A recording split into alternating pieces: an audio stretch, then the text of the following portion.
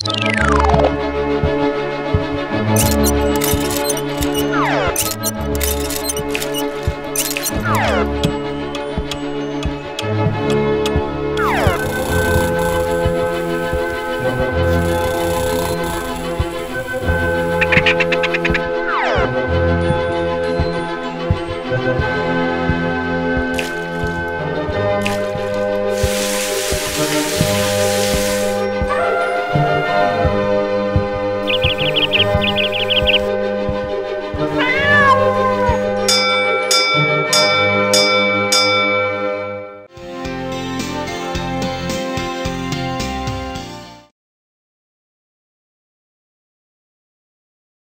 എല്ലാവർക്കും ഇന്നത്തെ മലയാളം അടിസ്ഥാന പാഠാവലി ക്ലാസ്സിലേക്ക് സ്വാഗതം.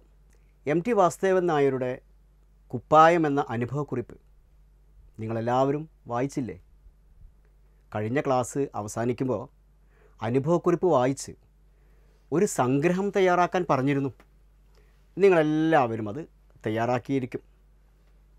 എന്റെ സ്കൂളിലെ ആര്യ എന്ന കുട്ടി തയ്യാറാക്കിയ സംഗ്രഹക്കുറിപ്പ് ഒന്ന് കേട്ടാലോ?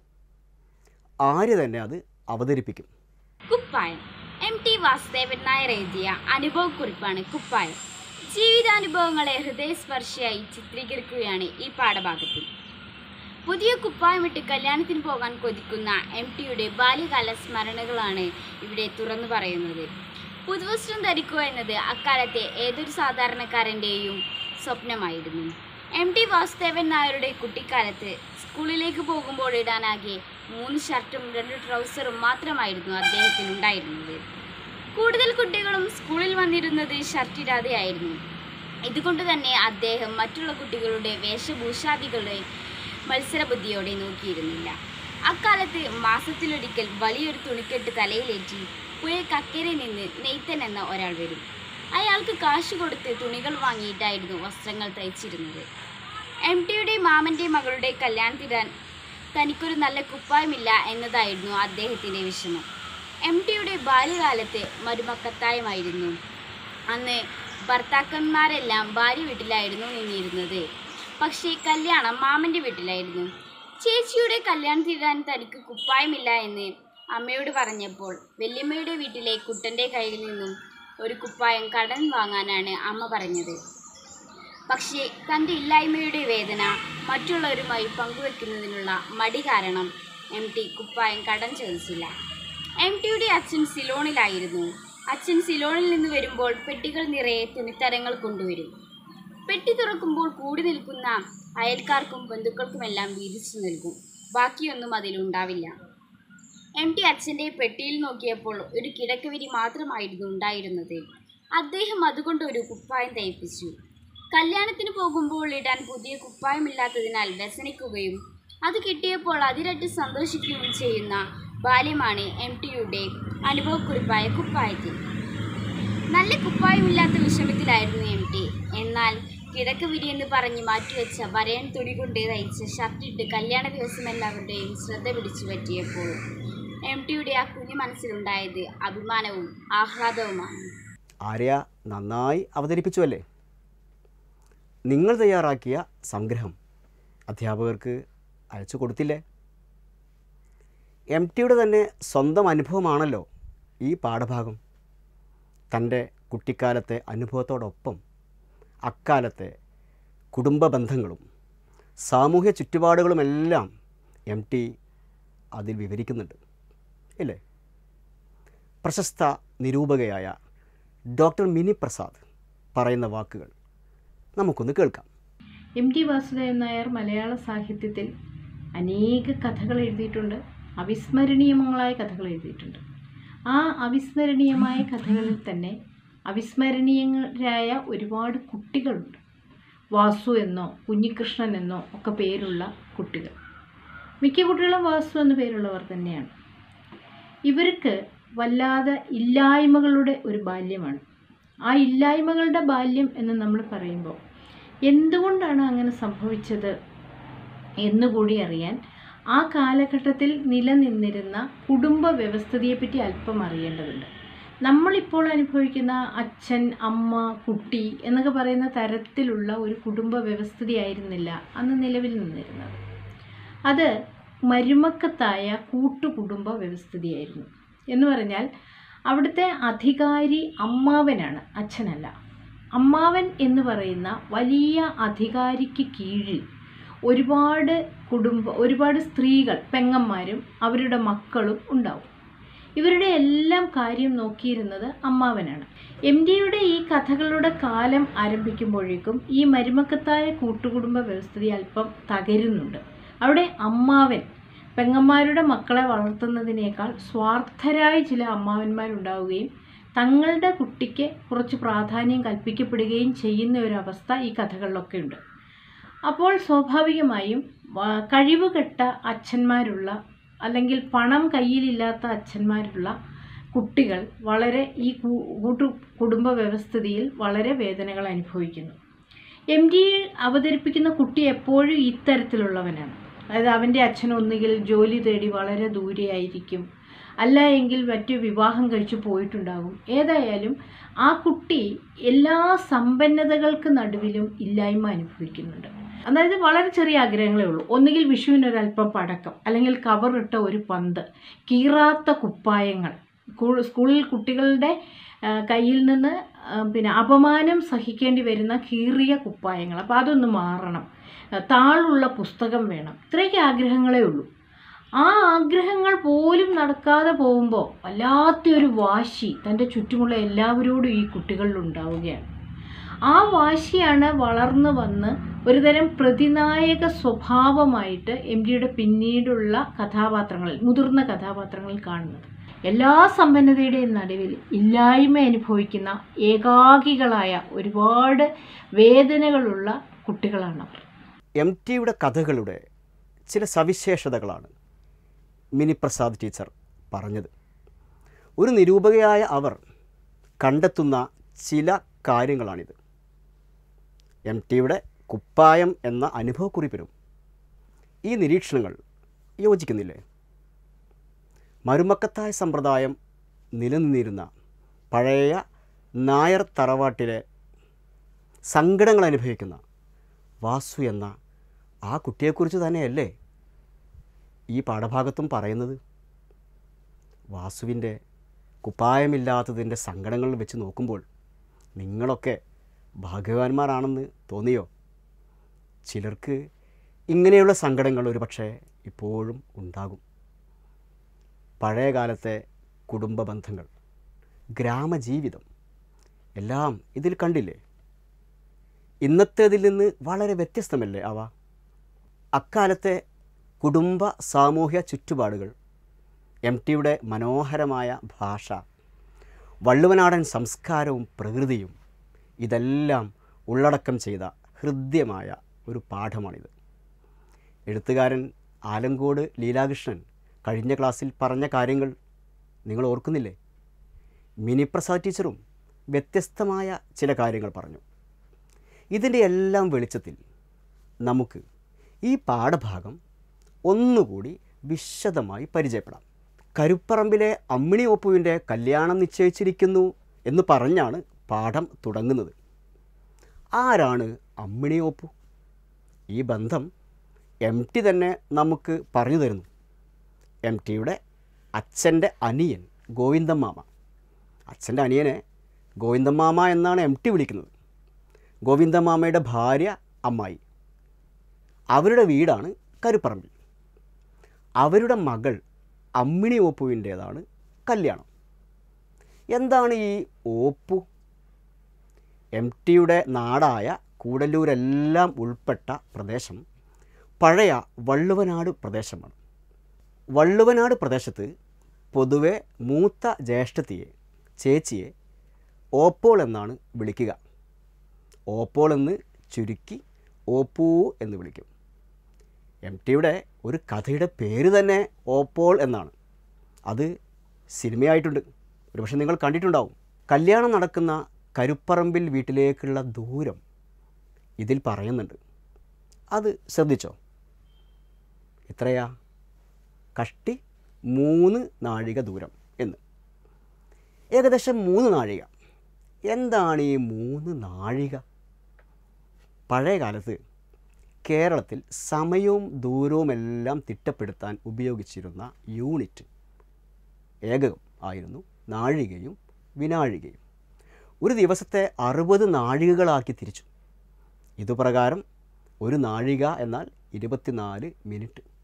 രണ്ടര നാഴിക ഒരു മണിക്കൂർ. നാഴികയെ വീണ്ടും വിനാഴികകളായി തിരിച്ചിരുന്നു. അതായത് അറുപത് വിനാഴികകളാണ് ഒരു നാഴിക. ദൂരവും സമയവും അളക്കാൻ സംവിധാനങ്ങളില്ലാത്ത ആ കാലത്ത് നമ്മുടെ പൂർവീകർ സൂര്യന്റെയും ഭൂമിയുടെയും ചലനങ്ങൾക്കനുസരിച്ച് ഉണ്ടാക്കിയ ഒരു കണക്കാണിത്. ഈ പഴയ രീതിയിലാണ് കരുപ്പറമ്പിലേക്കുള്ള ദൂരം എം ടി പറയുന്നത്. മൂന്ന് നാഴിക ദൂരം എന്ന്. അപ്പോൾ മൂന്ന് നാഴിക എന്ന് പറഞ്ഞാൽ ഈ പറഞ്ഞ കണക്ക് പ്രകാരം എത്ര സമയമുണ്ടാവും? കൂട്ടി നോക്കിയാൽ മതി. എഴുപത്തിരണ്ട് മിനിറ്റ്. എന്ന് വെച്ചാൽ ഒരു മണിക്കൂറും പന്ത്രണ്ട് മിനിറ്റും ചെലവഴിച്ച് നടന്നു പോകണം കരുപ്പറമ്പിലേക്ക്. അതാണ് അക്കാലത്തെ സമ്പ്രദായം. അമ്മിണിയോപ്പുവിന്റെ കല്യാണം നിശ്ചയിക്കുന്നതിന് മുമ്പേ അവരുടെ മൂത്ത ചേച്ചിയുടെ ഓപ്പുവിന്റെ കല്യാണം നിശ്ചയിച്ചു വച്ചിരുന്നു. അവരെ കല്യാണം കഴിക്കുന്ന വരൻ എം ടിയുടെ മൂത്ത ഏട്ടൻ ഗോവിന്ദൻകുട്ടി തന്നെയാണ്. അക്കാലങ്ങളിൽ ബന്ധുക്കൾ തമ്മിൽ കല്യാണം പറഞ്ഞുറപ്പിച്ച് വെക്കുന്നത് സാധാരണമായിരുന്നു. എം ടിയുടെ അച്ഛൻ ടി നാരായണൻകുട്ടി നായർ സിലോണിൽ ഒരു വ്യാപാര കമ്പനിയുടെ മാനേജറായിരുന്നു. സിലോൺ എന്നാൽ ഇന്നത്തെ ശ്രീലങ്കയുടെ പഴയ പേരാണ് എന്ന് നിങ്ങൾക്കറിയുമായിരിക്കും. അച്ഛൻ സിലോണിൽ നിന്ന് വന്നെത്തിയാലേ ആ കല്യാണം നടത്തുകയുള്ളൂ. അതിനിടെ അനിയത്തി അമ്മിണി ഒപ്പുവിന് വിവാഹാലോചന വരികയും വരന്റെ വീട്ടുകാർക്ക് പെട്ടെന്ന് കല്യാണം വേണമെന്ന് പറഞ്ഞതുകൊണ്ടും ആ കല്യാണം ആദ്യം നടത്തുകയാണ്. ഇതൊക്കെ കുടുംബത്തിലെ മുതിർന്നവരുടെ സംസാരങ്ങളിൽ നിന്ന് കുട്ടികൾ കേട്ടറിയുന്ന കാര്യങ്ങളാണ്. കല്യാണം നടക്കുന്ന കരുപ്പറമ്പ് ബന്ധുവീടായതുകൊണ്ട് അമ്മയോടൊപ്പം എം ടി മുമ്പ് പലതവണ അവിടെ പോയിട്ടുണ്ട്. അവിടുത്തെ ചമ്മണിക്കാവിൽ താലപ്പൊലി നടക്കുമ്പോൾ അവർ അമ്മയെ ക്ഷണിക്കും. അപ്പോഴാണ് സാധാരണ പോവുക. ഇതെല്ലാം എം ടി ഓർമ്മിക്കുകയാണ്. എന്താണ് താലപ്പൊലി? ഗ്രാമപ്രദേശങ്ങളിലെ കാവുകളിലും അമ്പലങ്ങളിലും വർഷത്തിലൊരിക്കൽ വലിയ ആഘോഷമായി നടത്തുന്ന ഉത്സവമാണ് താലപ്പൊലി. തൃശ്ശൂർ പൂരം കഴിഞ്ഞാൽ പിന്നെ വലിയ വെടിക്കെട്ട് നടക്കുന്ന ഉത്സവമാണത്രേ ചമ്മിണിക്കാവിലെ താലപ്പൊലി. താലപ്പൊലി കാലത്ത് കരുപ്പറമ്പിലേക്ക് വിരുന്നു പോകുന്ന ഓർമ്മകൾ എം ടി പറയുന്നുണ്ട്. അവിടെ അമ്മിണി ഒപ്പിനെ കൂടാതെ എം ടിയുടെ സമപ്രായക്കാരായ പെൺകുട്ടികളുമുണ്ട്. പഠിക്കാൻ മിടുക്കനായതുകൊണ്ട് കുടുംബക്കാരണവരായ രാമൻകുട്ടി നായർ തന്നെക്കൊണ്ട് സന്ധ്യാസമയങ്ങളിൽ രാമായണം വായിപ്പിക്കാറുണ്ടായിരുന്നു എന്ന് അദ്ദേഹം പറയുന്നു. രാമായണം വായിക്കുമ്പോൾ അത് തെറ്റുന്നുണ്ടോ എന്നൊന്നും ആരും നോക്കാറില്ലായിരുന്നു എന്ന് തമാശയോടെ എം ടി ഓർക്കുന്നുണ്ട്. അമ്മിണി ഒപ്പുവിന്റെ കല്യാണക്കാരും പറഞ്ഞു തുടങ്ങിയ എം ടി കരുപ്പറമ്പിൽ വീടിന്റെ ഓർമ്മകളെല്ലാം അങ്ങനെ ഒഴുക്കോടെ പറഞ്ഞു പോവുകയാണ്. അല്ലെങ്കിലും ഓർമ്മകൾ അങ്ങനെയൊക്കെ തന്നെയാണ് അല്ലേ? ചിലപ്പോൾ ഓർമ്മകൾ ഒന്നിൽ നിന്ന് മറ്റൊന്നിലേക്ക് എന്ന മട്ടിൽ അങ്ങനെ അറിയാതെ ഒഴുകി പോകാറില്ലേ? കല്യാണത്തിന് പോകുന്ന കാര്യം ആലോചിക്കുമ്പോഴാണ് ഓർക്കുന്നത്. എന്ത്? കല്യാണത്തിന് പോകാൻ നല്ല ഒരു കുപ്പായവും ട്രൗസറും വേണം. അന്നത്തെ നാലാം ക്ലാസ്സുകാരനായ തന്റെ ദൈന ചിത്രം എം ടി അവതരിപ്പിച്ചത് ശ്രദ്ധിച്ചില്ലേ? വളരെ വില കുറഞ്ഞ തുണി കൊണ്ട് തുന്നിച്ച പഴയ മൂന്ന് ഷർട്ടും രണ്ട് ട്രൗസറും മാത്രമാണുള്ളത്. ഇത് തുണിക്കടയിൽ നിന്ന് വാങ്ങിയതൊന്നുമല്ല. തലച്ചുമടുമായി വരുന്ന നെയ്ത്തുകാരൻ അയാൾ നെയ്തുണ്ടാക്കിയ വസ്ത്രങ്ങൾ വിൽക്കാനായി വീട് വീടാന്തരം വരും. നെയ്ത്തൻ എന്നാണ് അയാളെ വിളിക്കുന്നത്. അങ്ങനെയാണ് ആ കാലം. കൈവേല ചെയ്യുന്നവർ അവരുടെ ഉൽപ്പന്നങ്ങൾ തലച്ചുമടായി കൊണ്ട് നടന്ന് വിൽക്കണം. ഷോപ്പിംഗ് മാളുകളുടെ ഇന്നത്തെ കാലത്ത് നിന്ന് നിങ്ങൾക്കിതൊക്കെ സങ്കല്പിക്കാൻ കഴിയുന്നുണ്ടോ? നെയ്ത്തന്റെ കെട്ടിൽ മുണ്ടും തോർത്തിനുമൊപ്പം ഷീറ്റ് തുണികളുണ്ടാകും എന്ന് പറയുന്നുണ്ട്. വലിയ തുണിമില്ലുകളിൽ ഉണ്ടാക്കുന്ന തുണിയാണ് കമ്പനി ടെക്സ്റ്റൈൽസ് സി ടി എന്ന് പറയുന്നത്. ഇതിന്റെ നാടൻ ശൈലിയാണ് ഷീറ്റി നോക്കൂ നമ്മുടെ പൂർവികർ ജീവിച്ചു പോന്ന ഒരു കാലഘട്ടം. ആ കാലഘട്ടത്തിലെ ജീവിത വ്യവഹാരങ്ങൾ ഇതെല്ലാം തന്റെ ഓർമ്മ ചിത്രങ്ങളായി എം ടി അവതരിപ്പിക്കുകയാണ്.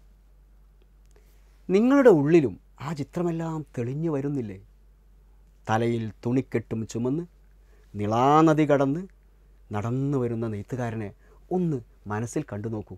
തനിക്ക് കല്യാണത്തിന് പോകാൻ നല്ലൊരു കുപ്പായമില്ലെന്ന് പറയുന്ന കൂട്ടത്തിൽ എം ടി മറ്റൊരു കാര്യം കൂടി പറയുന്നുണ്ട്.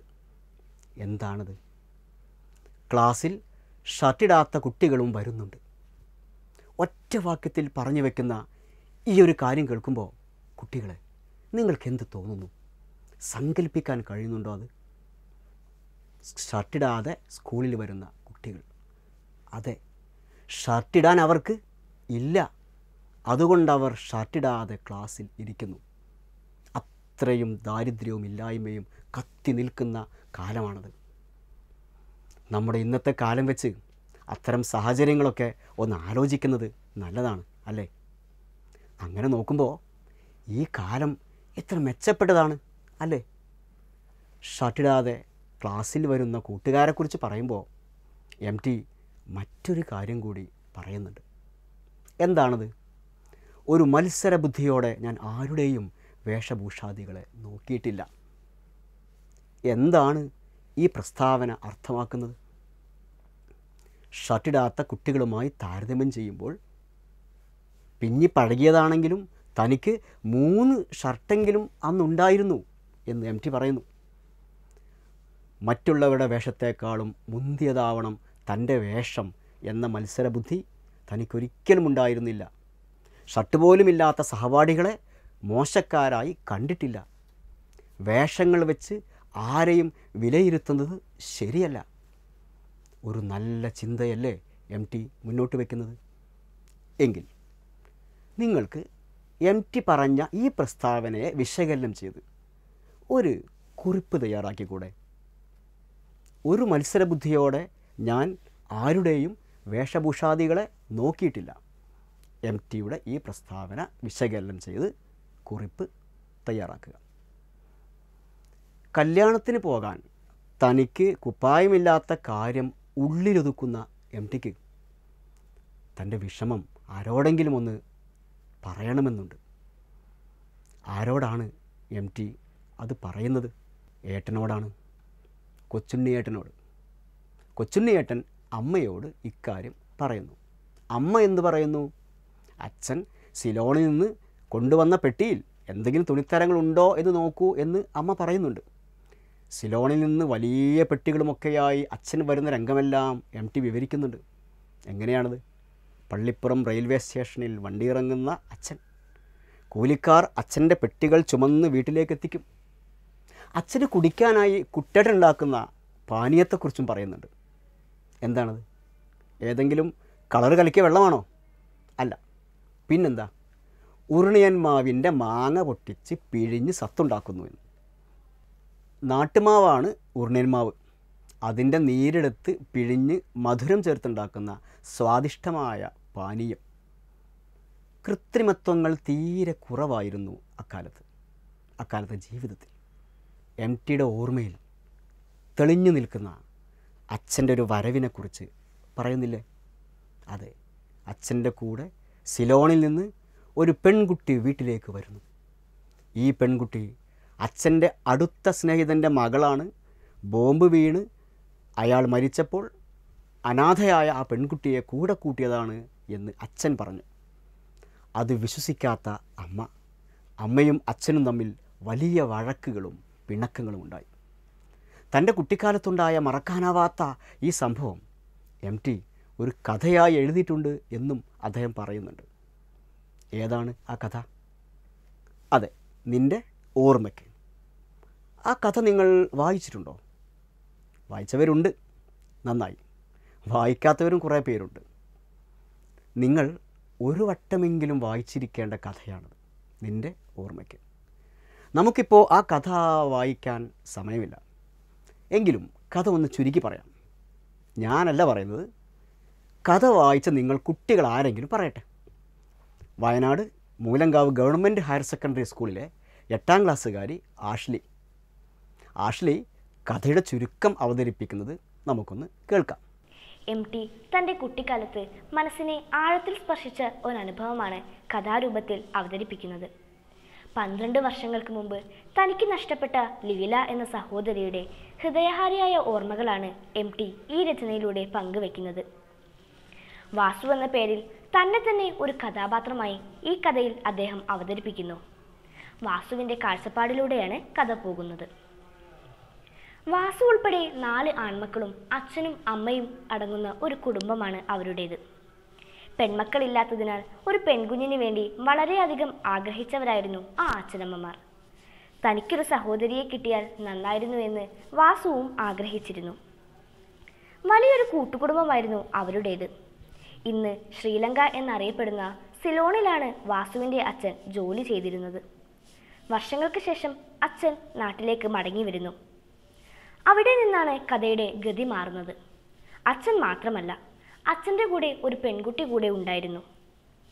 സിലോണിൽ ബോംബ് വീണപ്പോൾ അച്ഛനമ്മമാർ നഷ്ടപ്പെട്ട അനാഥ പെൺകുട്ടിയാണവൾ എന്നാണ് അച്ഛൻ പറയുന്നത്. എന്നാൽ അവൾ അച്ഛന്റെ രഹസ്യ ഭാര്യയിലുള്ള മകളാണ് എന്ന പേരിൽ കുടുംബത്തിൽ വഴക്കുണ്ടാകുന്നു. അവളുടെ കയ്യിലുള്ള പ്രത്യേകതകളുള്ള ഒരു കളിപ്പാട്ടമായ റബ്ബർ മൂങ്ങ കണ്ട് വാസു കൊതിയോടെ നോക്കുന്ന രംഗങ്ങൾ വളരെ രസകരമായി കഥയിൽ പറയുന്നുണ്ട്. ലീല എന്ന ആ നിഷ്കളങ്ക ബാലികയുടെ പേരിൽ വീട്ടിൽ അച്ഛനും അമ്മയും വഴക്കിടുന്നു. അടുത്ത ദിവസം കാലത്ത് എഴുന്നേറ്റ് വന്ന വാസു കാണുന്നത് തന്റെ സഹോദരിയും അച്ഛനും മടങ്ങാൻ വേണ്ടി പഠിക്കൽ നിൽക്കുന്നതാണ്.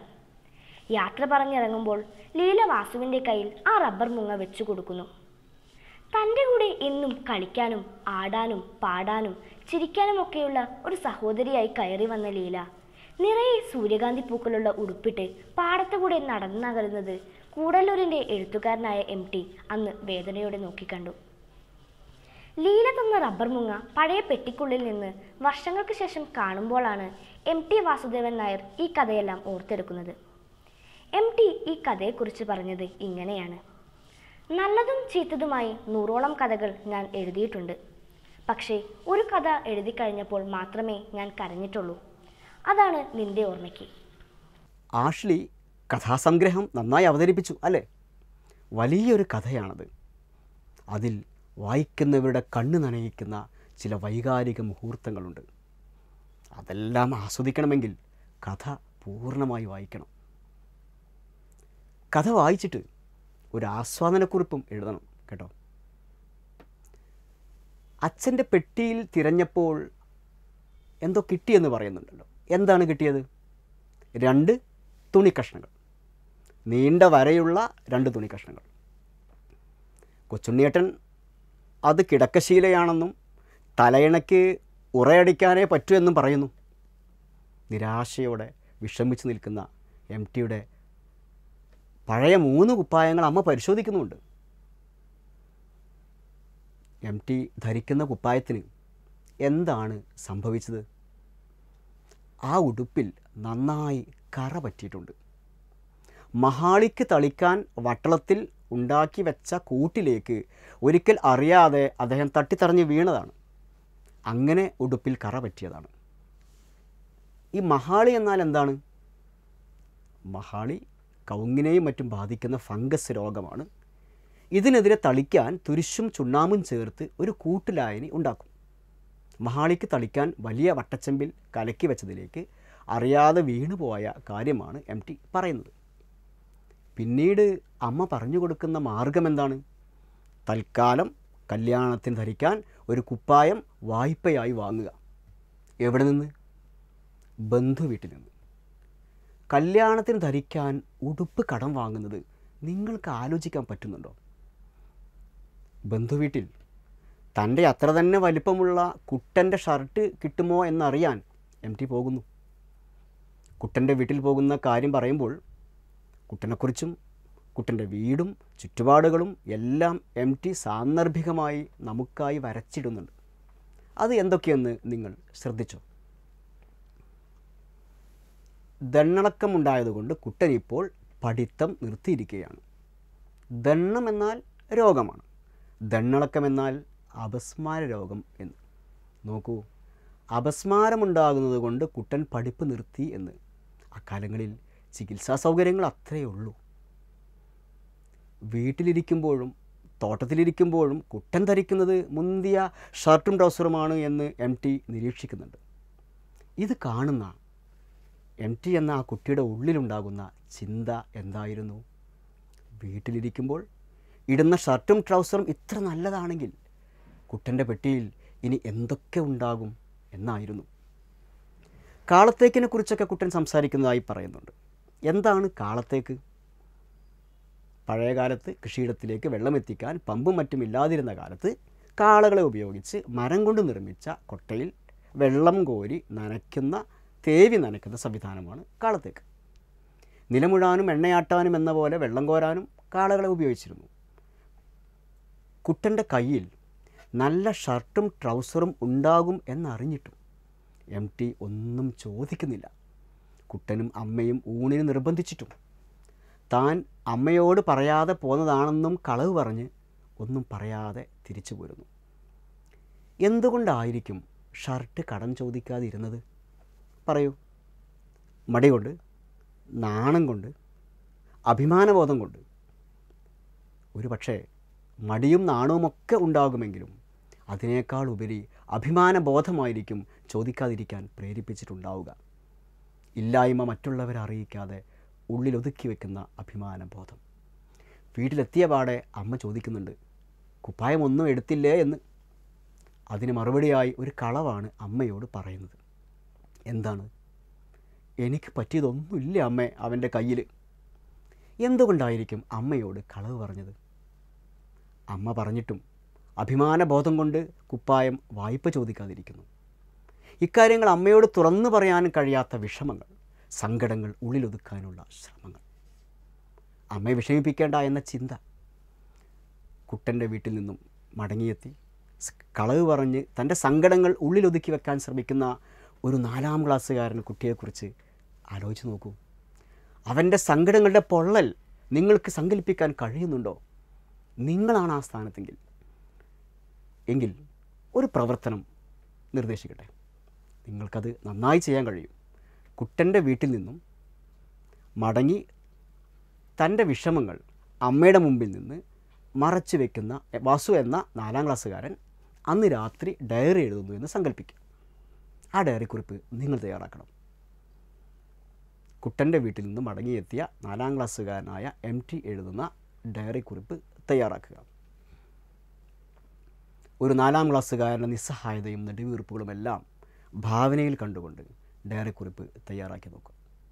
കുപ്പായത്തിന്റെ ബാക്കി കഥകൾ നമുക്ക് അടുത്ത ക്ലാസ്സിലാവാം. എല്ലാവർക്കും സ്നേഹാശംസകൾ.